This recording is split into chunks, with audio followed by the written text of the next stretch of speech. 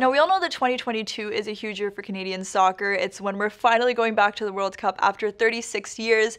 But after speaking to Les Jones, who happened to be a soccer historian, we found out that Canada was actually triumphant in the sport long before any of us even knew there was a Canadian men's national team. Back in 1904, Canada actually won the first ever Olympic gold medal for soccer. And it was really interesting to find out that over 100 years ago, Canada was already making an impact on the sport. In 1904, Canada participated, but it wasn't as the regular Olympics. They had club teams participating, and it, only teams from North America took part because it was too expensive for teams from Europe and South America to come. And it was also expected at the time that, that Canada would win gold, silver, and bronze because there were two teams from the States participating and there were four teams expected from Canada.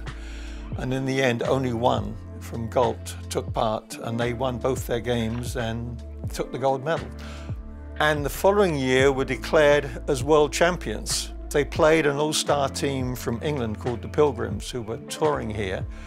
And they came here and played our team and they drew 3-3. So the headlines in the papers were Canada, world champions at that time. Canada were pioneers in soccer in the early days.